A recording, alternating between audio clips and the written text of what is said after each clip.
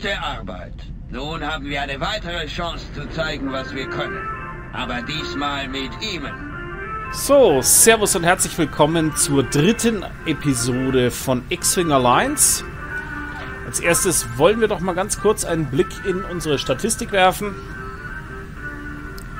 Wir haben ein bisschen Fortschritte gemacht. So gesamt in der Simulator-Statistik war es ganz nett. Und wir haben mit Sicherheit ein paar E-Mails. Also, muss ich die vorlesen? Wollt ihr die vorgelesen haben? Keine Ahnung. Oligarn hat uns geschrieben. Der Freund meiner Schwester hier sozusagen.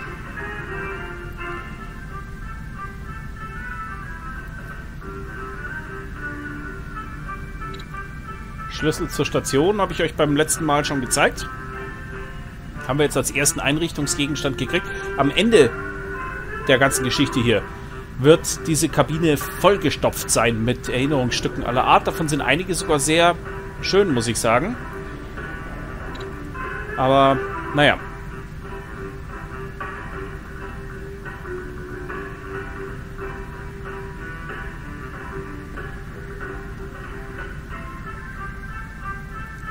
So, na schauen wir doch mal.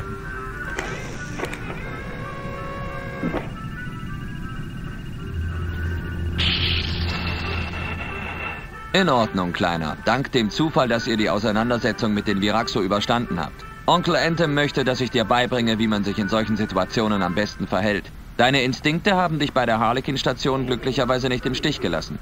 Offensichtlich hast du bei den Spielchen im Simulator doch einiges gelernt. Aber ab jetzt ist es kein Spiel mehr und du kannst dich nicht nur auf deine Instinkte und Simulatorerfahrungen verlassen. Ich glaube, das Wichtigste, was du dir merken musst, ist, dass der YT 1300 kein Raumjäger ist.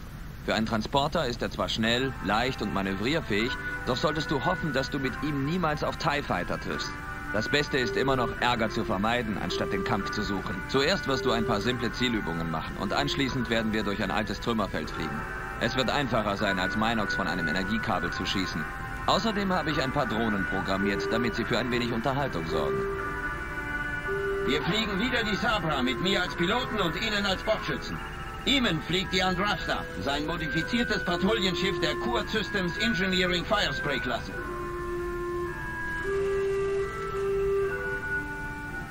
Drohnen werden Ihnen helfen, Sie mit den Ziel- und Sensorsystemen und den anderen Anzeigen vertraut zu machen.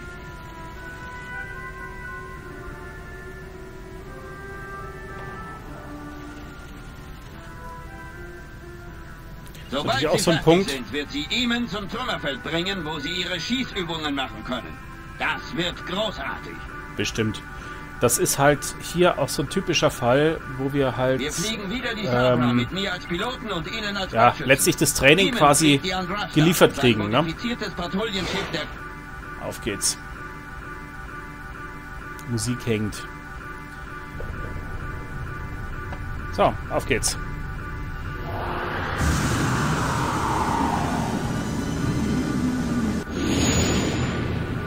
Okay, MK. Versuche auf dem Weg hier raus nichts zu berühren. Sir, mein Rekord ist immer noch ungeschlagen. Das weiß ich doch. Ich ärgere dich nur ein wenig. Ich hoffe, du wirst den Flug im Geschützturm genießen, Kleiner. Bestimmt.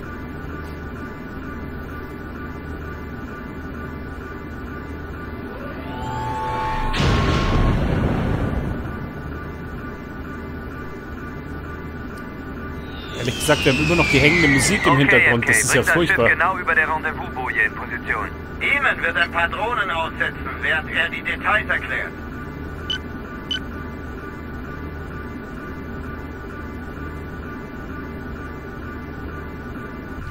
Oh Mann, das mit der Musik ist jetzt tatsächlich, äh, das tut mir leid, Leute.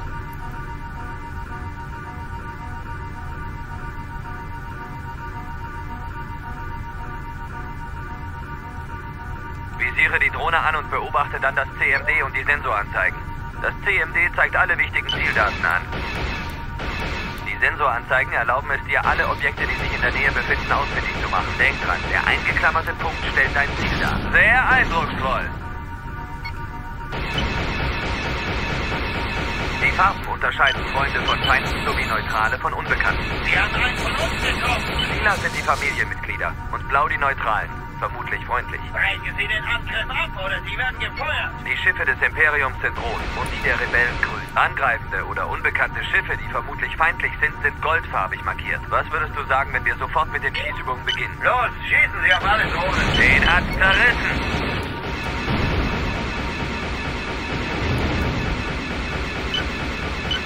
Ich finde das erstaunlich schwierig mit dem Joystick.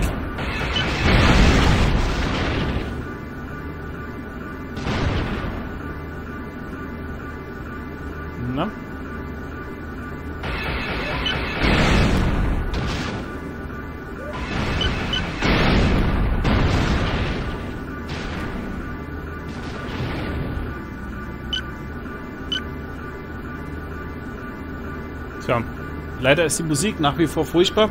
Ich bin gerade überlegen, ob ich nicht vielleicht auch hier Flying Through the Air da drüber spiele. Also ähnlich wie bei X-Wing vs. TIE Fighter, es bietet sich halt irgendwie an, ne?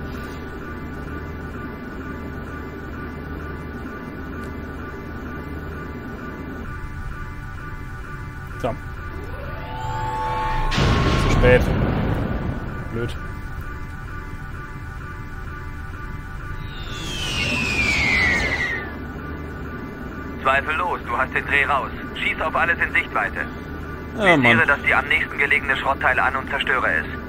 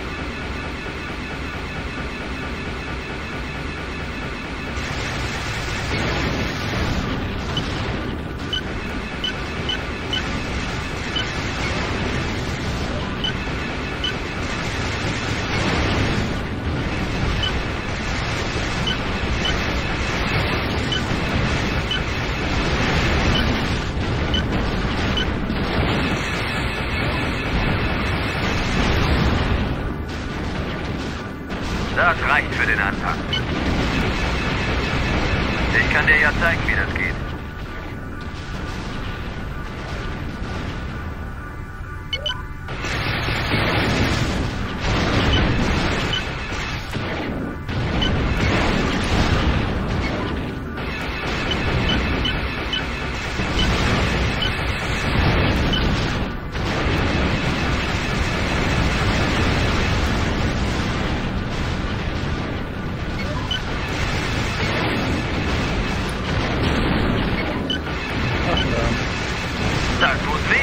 Hat so ein bisschen was von, äh, Wer mit dem Feuer spielt, darin ne?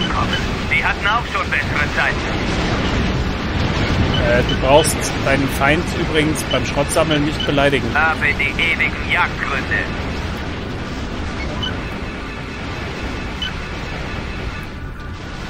So gefällt mir das. Wer kommt als nächster an die Reihe?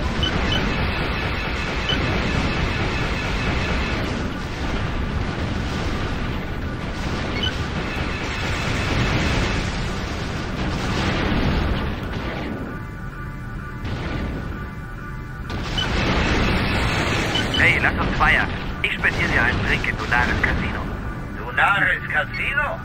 Dieser Platz hat einen schillernden Ruf. Folge mir, So, aber hast diesmal die gucken wir jetzt wenigstens nach vorne, das geht ja schon besser. So, jetzt bin ich ja mal gespannt. Was man tatsächlich zugeben muss, ist ähm, die, also die Anzeige vom Feindjäger, die wird tatsächlich mit jedem Spiel immer ein Stückchen besser. Also dass man halt so die Missions, äh, aktuelle Missionslage sieht, was man sonst immer über diese äh, Y-Taste erst herausfinden musste und so. Das ist schon ganz cool, wenn das also direkt angezeigt wird, wenn man so ein bisschen eine Ahnung hat, was macht der gerade. Das hilft einem, finde ich, sehr dabei, äh, ja, quasi ein bisschen Überblick zu behalten. Willkommen im Donaris. Servus. Hey, Partner! Gegner in Reichweite! Hey, kommt uns dieser Pursuer nicht bekannt vor? Ja, das Schiff haben wir von der Harlequin-Station verjagt. Genau, und die haben auf dich geschossen, stimmt's? Ihnen zeigen wir, was wir davon halten. Antraster, Sie haben soeben den Bogen überspannt. Wer ist hier das Ass? Sofort Feuer einstellen. Tragen Sie Ihre Streitigkeiten woanders aus. Wir wollten sowieso gerade verschwinden. Entschuldige, kleiner Bruder, aber wir werden den Drink ein anderes Mal nehmen. Tja. Wir haben ja auch gerade einen Wächter von dort umgelegt, der offen gestanden wahrscheinlich nur versucht hat, die Raumstation zu verteidigen. War ja auch ein bisschen daneben.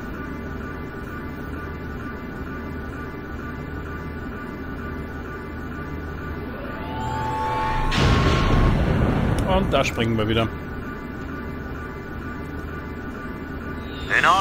Das war doch gar nicht so schwer. Ich glaube, du wirst da draußen gar nicht so hilflos sein. Das ist ja schön für uns alle. Zum Beispiel werde ich das ganz toll finden mit dem...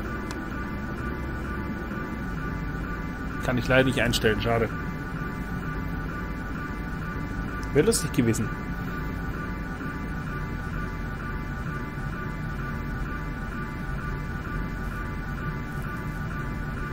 Bonus 100 Slave One identifiziert. Hä? Boba Fett war da?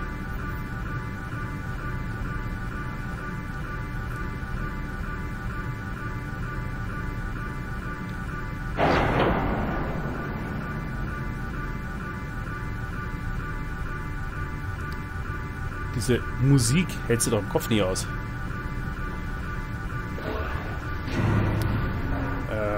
Gar nicht so schlecht. Du hast bewiesen, dass du gut mit der Kanone der guten alten YT 1300 umgehen kannst.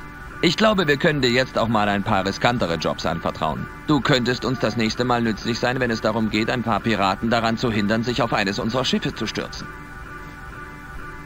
So, Gesamtvolumen, jede Menge Zeug abgeknallt.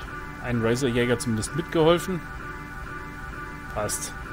Jetzt zurück zur Dieses wertvolle. Geschenk stammt von Ihrer letzten Mission. Genau, es gibt noch hier einen Gutschein. Mit dem äh, verspricht uns unser Freund hier. So.